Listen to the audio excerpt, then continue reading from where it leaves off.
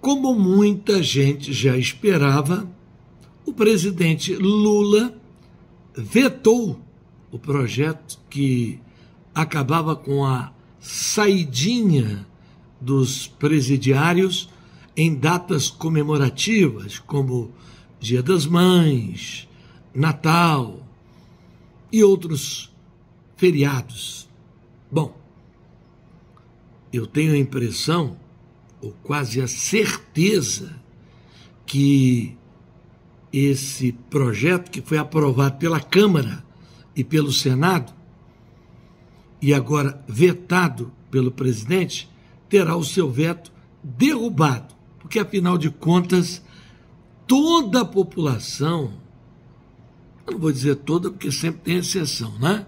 Mas a grande maioria da população é a favor do fim da saidinha. Que pena que o presidente não ouviu o povo.